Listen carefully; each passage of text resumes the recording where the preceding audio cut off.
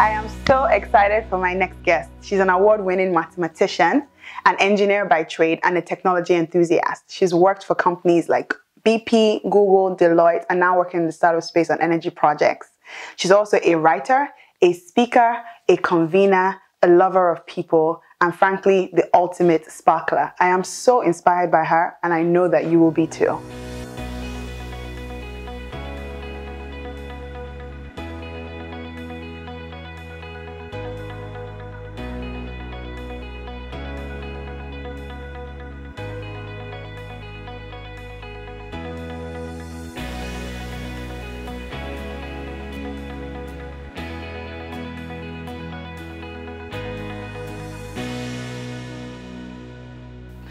Hello, welcome back. This is viSHEbility, the show that shines a light on the marketplace successes of women of color in the UK.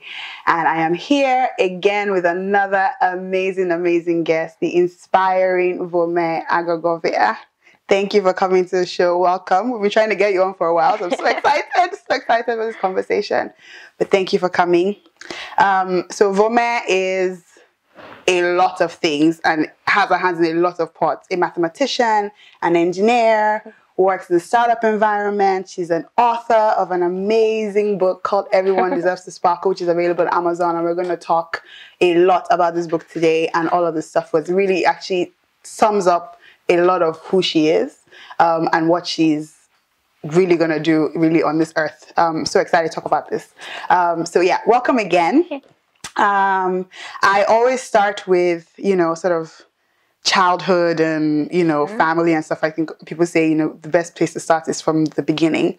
But what I actually want to do is start from your book. Oh, cool. um, I was actually going through it and I've tabbed it and I really read it and gone everything. well done. um, I thought it was a fantastic, fantastic, very well written book and it just went through um, a lot. And I think one of the things that I picked up was uh, about just how influential your family, your sisters, um, particularly your mom. You talk so eloquently yeah. about your mom, um, and just how how much they helped guide you to the point that you are now. So, can you just walk us through and like our audience, me and our audience around like where you were or the different pieces that came together to when you when you wrote this and how old were you when you wrote this I was 23 when it was published. Yeah. What was I doing at 23? I don't know, but um, 23, amazing. So for you to be 23 and write something like this um, makes me think you're a very, very special person. So yeah, talk us through sort of how we got to this point and, and the choices that you made to get here. Okay, so I have three sisters. So we're a family of six and we're four girls and everyone always like said, oh, you guys are four girls and we all have names starting with V. Oh, yeah. So we quite, we grew up in a very nurturing environment. Yeah. Like our parents were very like, for the fact we're four girls, yeah. very, very attentive. And so although four of us are similar, we're kind of different at the same time. And our, our parents always made sure that we all knew we're special individually, mm-hmm. even though we had similarities. Mm-hmm. Um, another thing my mom did, she made sure people didn't compare us. So always made sure everyone knew you were special in mm-hmm. your own way. So I think that's kind of started how I felt about me being special as how I am yeah. as a person. Yeah. And my family did a lot to make me become like this because I remember I said I, when I grew up, like I used to just play. I was very playful, mm. and I just wasn't focusing on school. Yeah. I was just playing, playing. I was doing well, but not great. I find that hard uh, to believe. I was just playing all the time. and then my mom sat me down once. I think I was in which would be year nine, so I was like 12. And she sat me down and she said, Oh, Vome, you need to not be comfortable being mediocre. Mm-hmm. Don't be comfortable being average. You need to actually do your best. And those words really sat inside, yeah. my mind. Yeah. And even up till now, I think about it all the time. But was it that she felt like you were being mediocre when she said it, or she just mm. thought, actually, this is a good point for me to tell my young daughter that mm. this is a good life lesson? I think she knew I wasn't pulling my weight. Because okay. to be fair, I'll come back from school and I'm just playing. Right. I just never really used to study. Yeah. And she could tell that I wasn't particularly trying academically. Okay. And I think she thought I started to like settle and just right be okay just coasting. Right. And so she sat me down and said, No, just don't coast. Actually, anywhere you are, do your best. Yeah. Try to do your yeah. best. And she just put that in me. And mm. I think mm. that really, really helped for yeah. where I am today, even writing the book, everything, because I always just think about that. So I think my sister's examples a nurturing family. My dad is very hardworking, very supportive. Just all of that put together just made me always believe I could do anything, basically. Yeah. Yeah. There's a there's a chapter in your book very early on where you talked about um, failing maths. Yeah. and I find that really strange because obviously now you're actually like an, yeah. an award-winning mathematician. Yeah. Um, so failing math and this obviously this conversation you talked about with your mom. Yeah. Um, and where she kind of woke you up basically. Yeah. Um, what were some of like you know when people talk about STEM and talk about you know women in sciences and that type yeah. of thing, is it uh, do you learn it or is it just something that you're born with? I think people have natural flares for right. things, so like gifts and like subjects, and mm. even when I speak to like people in school, students, yeah. I tell them you have natural flares for certain subjects, mm-hmm. but I also believe that you can learn yeah. to be great at certain subjects. So I think it's a mixture of nurture and nature, nature yeah. where I mean, someone that has a natural flair for it would get it instantly. Mm-hmm. But if you put in the work, you can also learn Develop, to become yeah. good at it. So I feel like I had a flair for maths, but I don't think I developed it, so mm-hmm. I wasn't trying. But once I keyed into it, it became like it's second nature. yeah. okay. So I feel like sometimes people just, especially if you're not encouraged, certain girls, you can think, oh, uh, maths is not for me, or mm-hmm. chemistry, or physics. You're not trying. But if you try, you may actually find that you don't have the flair for it, or yeah. you do actually have the flair for it. So I think it's determining whether it's that you're not great at it, or if it's your mm, environment mm. that is preventing you from okay. finding out. And are any of your other sisters in the sciences? Yeah, so out of four of us, three of us. So one is a doctor. Okay. Um, the other one is a um, electrical engineer, right. and then me, and then my other sister is an accountant. So she's not in sciences, but yeah. she's really good with numbers as yeah. well. So okay. yeah. So numbers are definitely a thing around your house. But funny enough, both my parents are social sciences, oh, humanities. Okay. So okay. none of them are into sciences, but. Yeah um, so this is where my dad comes in. My dad is very particular about what you want to study, and he would support you in any degree you choose. Yeah. Um, so for me, like my sisters always knew what they wanted to do. From 12, 13, they all knew what they wanted okay. to do. I had no clue because I'm that kind of person that I like doing different things. So when you're like that, sometimes you struggle to know yeah. what you want to yeah. do. So I got like to like what's that? The uh, master master of none or jack of all trades. Exactly. Yeah. So I picked maths, further maths, chemistry, and physics in A levels because that's what I liked, wow. but I didn't know what I wanted to do with, with it. it. So I was just like, okay. And then my dad started having a conversation with me. What do you want to do? I'm like, I like maths. Maybe I'll do maths. And he's like, okay, that's fair if you want to do that. But have you like explored mm. different things? And he said, okay, I think you should do work experience in different companies to actually mm. see what you can do with awesome. it. So I did. I worked for insurance companies. I did the ExxonMobil. I did different things. Yeah. And then after the experience, I really liked what the chemical engineers were doing okay. at ExxonMobil. And I thought, okay, I can study this and I can still do most things I can do with maths yeah. with chemical engineering. Mm-hmm. But if I do maths, I can be an engineer. So that was my mindset um, to okay. pick in that. And I thought, I was thinking ahead of a career. Yeah. Anything I can do with maths, I can do with chemical engineering. Yeah. And that's kind of how I chose okay. chemical okay. engineering. My dad guided me on that path, but he's supportive of anything you want to do. And he, he loves his girls. He tells us, like, we're like 10 sons, anything you want to do. he doesn't see a male career, female career, anything you want to do is it's okay. fine, yeah. So just going into specifics, you know, for some of our um, viewers who are really thinking about engineering, yeah. what is it specifically about engineering that really gets you going, where you think, you know, this is this is what I want to be doing? For most people that love engineering is the problem solving. Okay. Like engineering is a degree where you need to think creatively, creatively. Uh, you need to use creativity, creativity yeah. creatively. Sorry, you need to think creatively but you also like you're solving a problem. So it presents a problem to you. Yeah. And you need to analyze it break it down and think of a creative way to solve the problem. Mm-hmm. and a lot of people that love engineering are people that love to solve problems. Yeah. so you're not just seeing an issue but you're thinking of ways that you can kind of make things better. Mm-hmm. So I think a lot of people that like engineering is that mindset that you kind of go with it and yeah. you enjoy it throughout your degree.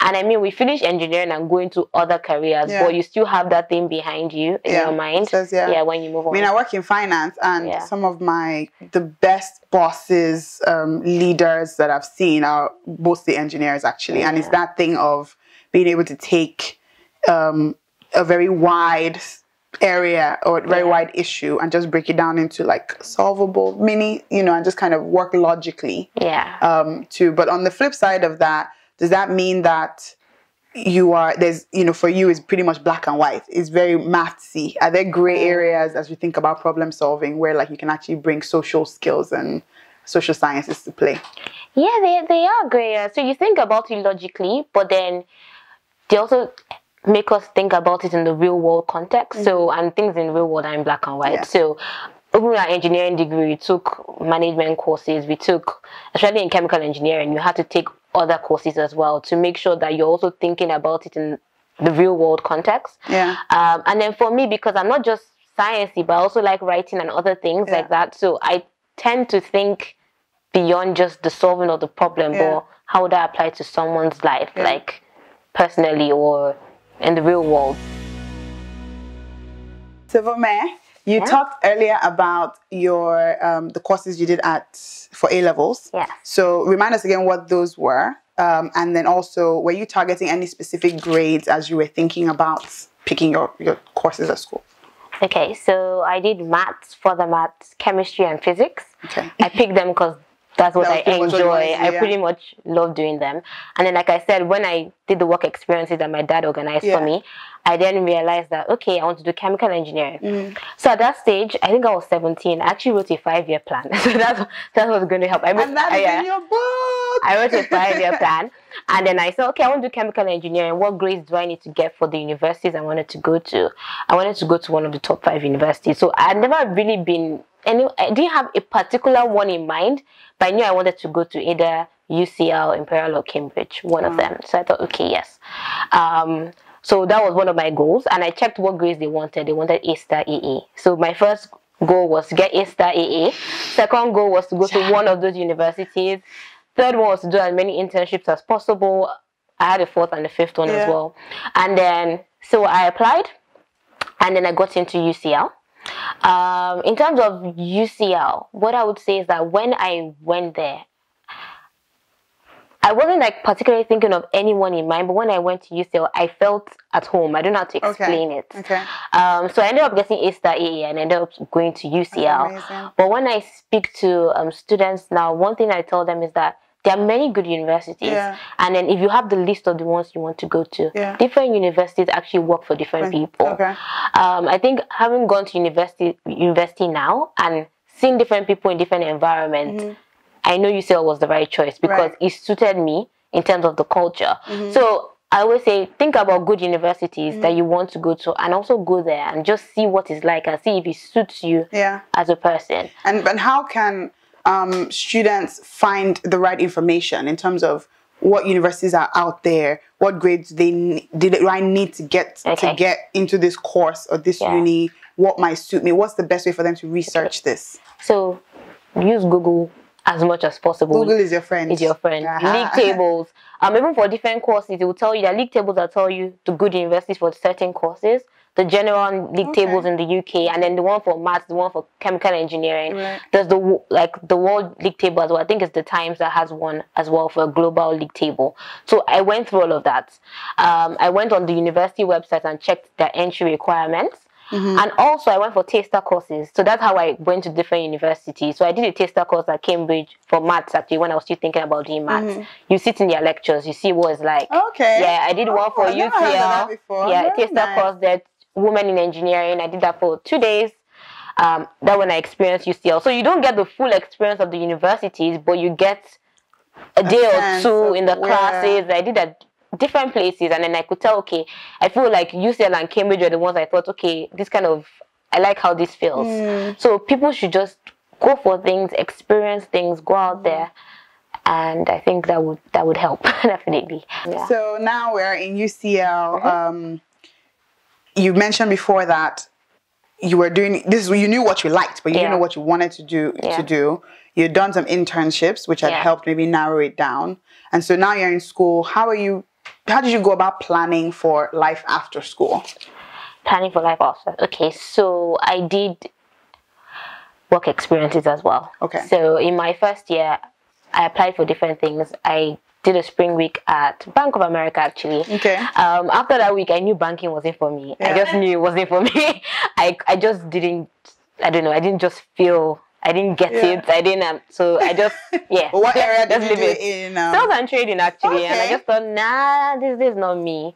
Um, so I said, okay, let me try something else in my second year, I then did BP, which is more like okay. what I studied. Yeah. And I, oh, this is nice. I like BP. And what area in BP did you? So I was in their sales and trading as well. So okay. for oil and gas sales and trading. So that was fine. Uh, but I thought, okay, let me have more experiences. Mm. In my third year, I then applied for, I wanted an unconventional company because I just wanted to see what it would be like. Yeah. And then I got Google. Mm. Um, that that year was actually funny because I applied to so many things that year. Yeah. And I just wasn't getting them. But in previous years, I would get it easily, yeah. and I do, I was so frustrated. I was yeah. thinking, what's going on? Yeah.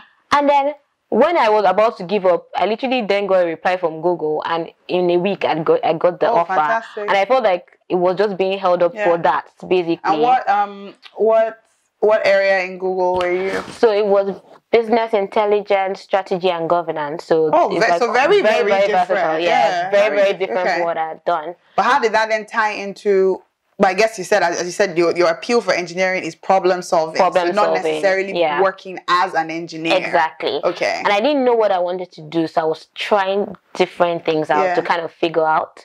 And I like Google; it was fun. But then I thought, okay, this doesn't really tie in with, like you said, mm. my engineering. Yeah. I want something more applicable. And was this an internship? It was like a four month internship. Okay. So okay. long over the Longer, summer. Okay. And then I said, okay, people say that if you're not really sure, maybe you should go into consulting. So I'm like, okay, I'll go into consulting, try different industries and see kind of yeah. what I like. So I got a graduate um, offer at Deloitte okay. for consulting. Nice. I did for a year, and I think after that year, I then realized the industry I was passionate about was energy. Okay. So Vome, you are um, now working for a startup. You mentioned mm -hmm. Bulb Energy, um, an amazing company doing really amazing stuff in the energy space. Okay. What makes the startup world so exciting? I have so many young people that yeah. just want to quit and go and do startup. You know, what makes it so cool? First of all, startups are fun. Yeah. so it's not as formal. Okay. Everyone is, tends to be really relaxed. Yeah. You get to know the people at work. You have fun with them. Mm -hmm. They tend to get have a lot of perks as well, okay. and I think that really attracts people. Like you think yeah. of Facebook and Google when you think of startups, yeah. like when they were younger. Yeah. But also, why I'm actually really enjoying working at a startup is the responsibility. Okay. So the level of responsibility I have at work now, the different things I do, I wouldn't have that kind of responsibility if in a bigger, bigger organization. Yeah, and literally my role they say is like 10 departments in a different company. Yeah. So I'm doing so much, which is a lot of work, but yeah. I'm learning and growing a lot. Yeah. And I think that's my own attraction to But would startups also have like training budgets and that type of thing? The things that make larger organizations interesting. Interesting. Yeah, so we have a training budget. It wouldn't be as robust as a larger organization. But the on the work on the work you're doing every day, mm. you're probably learning more hands-on stuff yeah. than practical, if it was just practical yeah. stuff than just a course, for example. So mm. I mean, it has its disadvantages, but yeah. the things you learn, the responsibility, the way you can grow very fast, is it's quite interesting. I'll say. Okay, so yeah. now you're working for a startup, but you also have a startup, yeah. which is super interesting. So you have you are one quarter of yeah. DVees. yeah. Um, so uh, you know your social enterprise or your your business with your sisters. Mm. Um, tell us a little bit about that. Okay. So it's very different from when you're working for a startup and when you're starting a company. like it's a very different thing. But yeah, so we DVees, we literally just like cooking because yeah. my dad cooks. We grew up with my dad always cooking for Christmas. That's and, odd. Normally, yeah. always people say my mom cooks. Yeah, my, like my dad. My dad loves to cook. Oh, very nice. So we all grew up cooking a lot with my dad, and so we just used to cook a lot, and then we started blogging about it, and then mm so mm-hmm. many people started following the blog and talking ah. about it.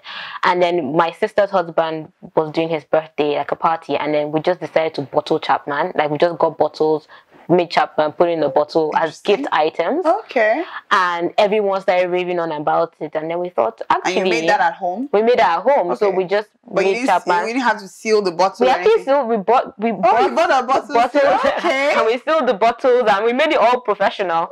But it was just for that his party. It wasn't yeah. like anything. But we do little things like that for people's our weddings yeah. and things.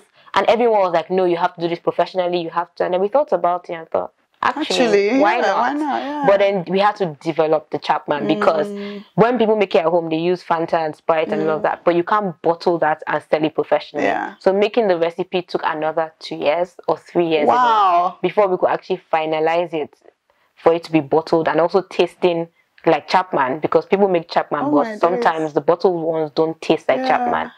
And then yeah, we started with Chapman first, and then now we do condiments Okay. So like Rodo sauce, which is like okay. pepper yeah, sauce. I've heard about that. We yeah. do um, tea. We have Zobo tea, yeah. DVees tea, and then we have other products that are coming. Zobo drink. Like so, we're moving into different spaces. We didn't think this is where it was going to go, but then this is where we are now because yeah. we tried different things before. But and how has the public reception been? I know you did um, um, a stall which I came to. Yeah. Um, around Liverpool Street area. Uh, but what's the reception been from the public since then? I think there's a buzz with West African food, food places yeah. these days, with Ikoyi London and other yes. places. So people are quite fascinated, like, oh wow, from West Africa, what does it taste like? Yeah. So I think we've actually gotten a lot of, as at five years ago, no. But in the recent, like last right. year, so okay. many people are more interested yeah. in West African products. So that's positive. Awesome. Yeah. Okay. And so what's the next step now for DVees? um, so obviously new products in yeah. development. Are you seeking funding? Are you working with other organizations? Are you stocking in certain shops?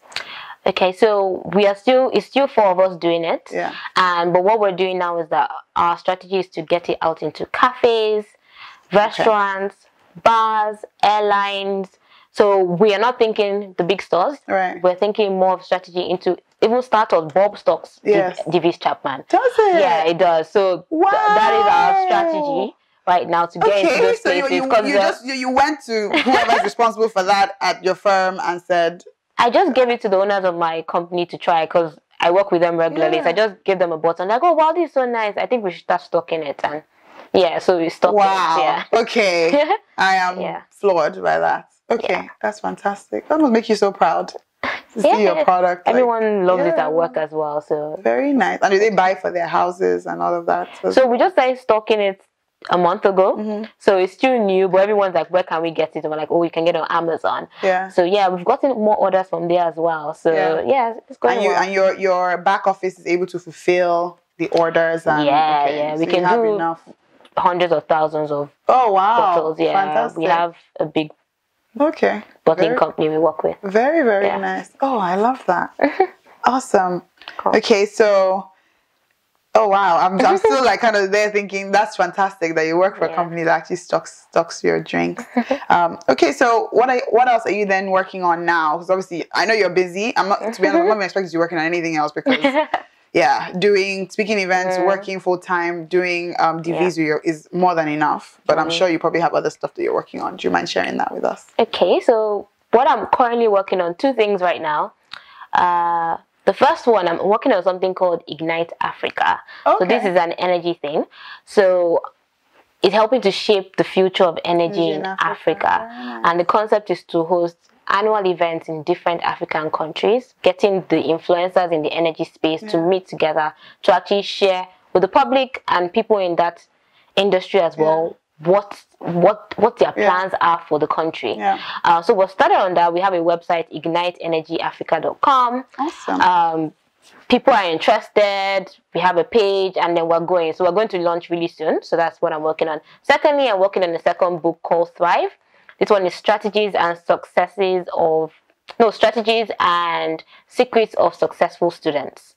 Okay. So this is for secondary school students basically um, giving them tips. Very the book should be quick easy to read on tips on how they could excel academically basically.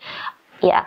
I'm writing with someone else as well um tunde gafa so we're writing together Okay, awesome. Well, that's fantastic. That's yeah. a lot of work, but um, how far have you gone with your book? So the book is, is written, it's, it's done. Okay. I just so need to publish, and... get it out there. Yeah. Yeah, it's pretty much done. I, I haven't just pushed Put it out there. Yeah, not yet. But how are you self-publishing? Yes, I am. Okay. Yes, okay. I am. And you prefer that, um, or did you get any interest from other publishers since you already have a book out? So I, I didn't even explore getting a right. publisher. Um, I think I like the flexibility of it being yeah my my own thing, my own product, thing. Yeah. Um, in the future, I I may then move into having a publisher, but for now, I think it works with what I'm trying to do yeah. and the brand I'm trying to create. I have full flexibility over where my book goes, mm. but with a publisher, I may not have that. Yeah. So yeah. Okay. Awesome. And so you mentioned doing speaking events yeah. uh, when we started having a conversation. So how can people contact you either for speaking events? How can they contact okay. DVees for okay. products? You already mentioned Ignite Africa, but you can repeat the okay. contact information. Okay, so for speaking events, I have a website called everyone everyonedeservestosparkle.com. Mm-hmm. You can contact me there. That's the name of my book. So everyone deserves to sparkle. Um, for Ignite Africa, that's igniteenergyafrica.com. You can contact me there. And then for DVees, that's dvees.com, which is D V E E S.com. Yeah, and that's it. Okay. So for the different for different areas. areas. Okay, so just signing out now. What is like what are your words of wisdom? I guess if I just think, what is the one thing, um, or two, or three, um, things that are innate in you that has kind of helped pushed you along the way and that you think is still, you know, helping you out as you move on in your journey? Oh wow, okay. Um, I think the first one is having the real realization that everything I need to become whoever I'm meant to be is already in me. Awesome. So I don't try to go everywhere trying to like get things from everywhere. It's like, yeah. oh, it's already in me. I just need to develop, develop it. it yeah. um, the second thing is resilience because I realized that things don't always go as planned. Even with DVees, even with the book, even there are always like detours, there are always things that happen, but you just need to keep pushing and keep going. And I think this ties into the third point that what will help you keep going is I always have this at the back of my mind that I am on this world, I'm in this world to help set the world on fire. Wow. I'm here to make a difference in people's lives. So that's what I always have behind my head when I'm trying to get things done, when things don't go as planned. So those three things I would say. Yeah. Wow. Yeah. So there you have it. I can't even summarize this conversation because it's just so, so awesome. We talked about trying new things. We talked about discovering passion. We talked about we talked about doing your own research. We talked about thriving in every area that you're in. We talked about knowing that everything that you need to succeed is in you. We talked about being resilient. And the last point that Vome mentioned is that you are in this world to set this world on fire. So go ahead and set this world on fire. Thank you, Vome, for joining us. Thank you for having me.